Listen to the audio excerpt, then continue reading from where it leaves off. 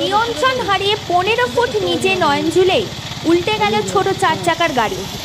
আজ দুপুরে বৈদ্যবাটি দীর্ঘাঙ্গী মোড়ের সামনে ঘটনাটি ঘটে। কোনো মতে ড্রাইভার বেরোতে পারেন হতাহতের কোনো খবর নেই। স্থানীয় সূত্রে জানা যায় ডানপনের দিকে বহরমপুরের দিক থেকে ফাঁকা গাড়িটি আসছিল। সেই সময় নিয়ন্ত্রণ হারিয়ে নয়নঝুলিতে উল্টে যায়। ঘটনাস্থলে পিয়াপুর ফাঁড়ির পুলিশ উদ্ধারের চেষ্টা করছে। আপনারা দেখছেন নিউজ বাংলা। নজর কাড়া খবর।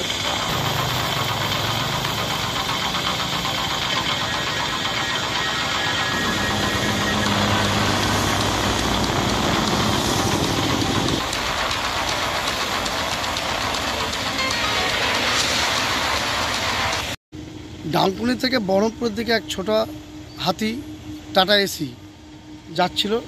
কিন্তু আমাদের আরএমসির সামনে গায়ে একটা গাড়িকে ড্রাইভার ওভারটেক করে এবং ওভারটেক করার পর নিয়ন্ত্রণ হারিয়ে গিয়ে পনেরো ফুট তলায় খাদে গাড়িটা পড়ে যায়। কিন্তু ড্রাইভারের কোনো কিছু হয়নি। গাড়িটা এখনও ইঞ্জিন স্টার্টে চলছে।